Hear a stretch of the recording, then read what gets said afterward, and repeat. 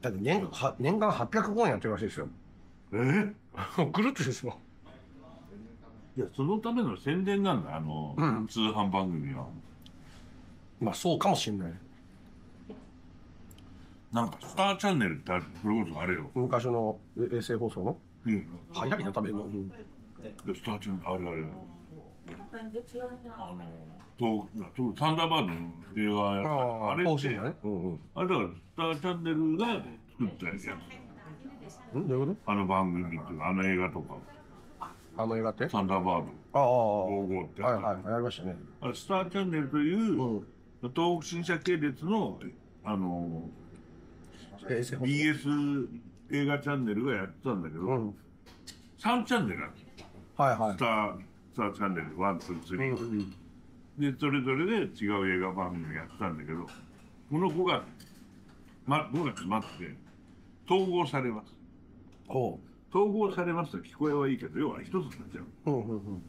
実は BS と、まあ、その衛星放送のその帯域というものが今すごいなんか、激、激動の時期に。まあ、要は電波量で払わなきゃいけないしね。うん。あれ、どこに払ってるかよくわかんないんだけど、うんうん。全く別の会社なんだよね。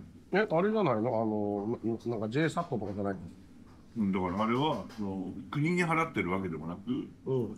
それで民間のなんか企企業に払ってるんだけど、うそれみんな手放してるのよ、高いから。高い、高い割に収益にならないから。うんうん。NHK ですら手にしたわけようんうん。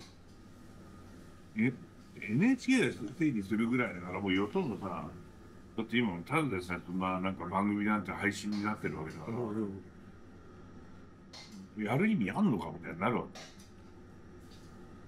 けでそのさ3チャンネルもあったスターチャンネ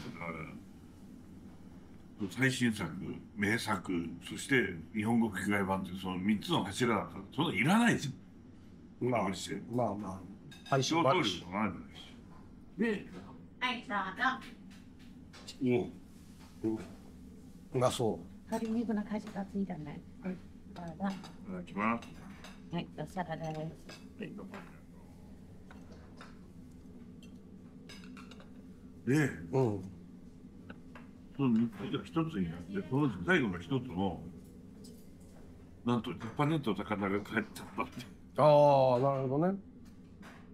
え最後の一つがスターチャンネルじゃないな。でも一つを、だから最後に残ったやつをなぜか、だからそれを残すだけじゃなく、残ったやつをしちゃったわけ。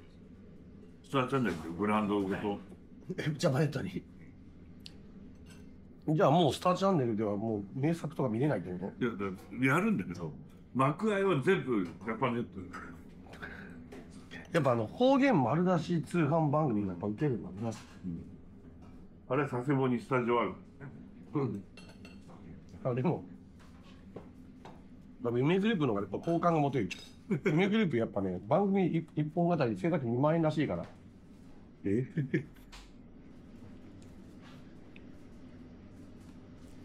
台本全部社長が書いてんだって。うん。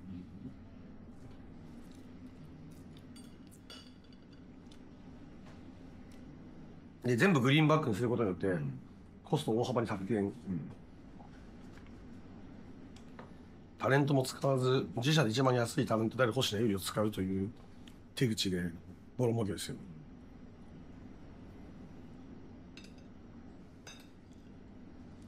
これ好きなんだよね。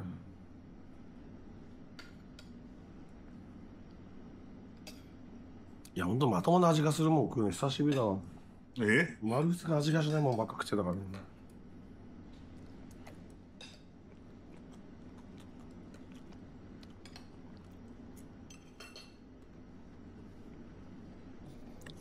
ジャパネットはさ、粗悪品は売らないんだよ。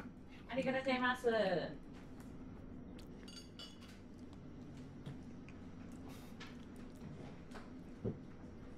でもなかなか良かったよ。社社長の、なんかお父さんが去年亡くなっちゃって、俺は今まで親父になんか認めてもらいたくて頑張ってきたけど、これから俺は何を支えに生きてきゃいいんだと。でお客様とか社員のためとかっていうのは簡単すぎて嘘になっちゃうから言いたくないんだと。そういうね。そう、逆にいいじゃん？そうでも結局何のために生きるかは何も明言しないまま最後の歌で終わったみたいな